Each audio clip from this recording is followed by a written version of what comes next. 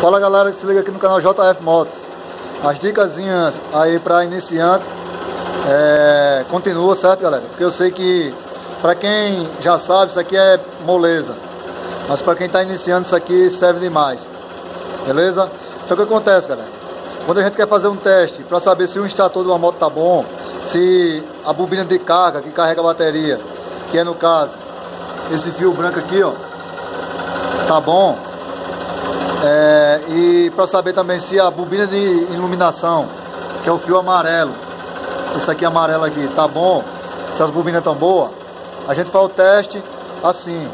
É, tem que deixar o fio é, azul com amarelo daqui do chicote ligado com azul com amarelo aqui que vem do estator, certo? Senão a moto não pega. E aqui, ó, com a lâmpada de teste, você faz o, terra, o aterramento ou no chassi ou no polo negativo da bateria. E aqui, ó, com a lâmpada, certo?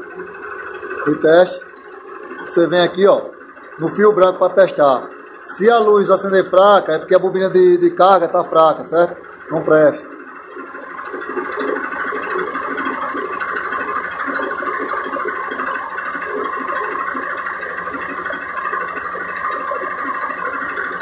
Vem aqui, galera.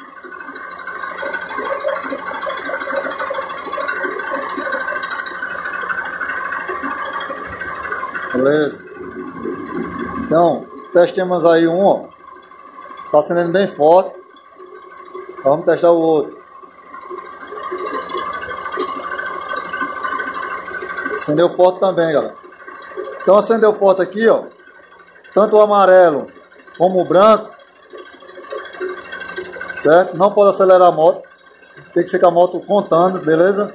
Você vai saber se as bobinas de carga, que é o fio branco com fio branco, e, e a bobina de iluminação, que é fio amarelo, vai estar tá boa. Se acender forte assim, ó.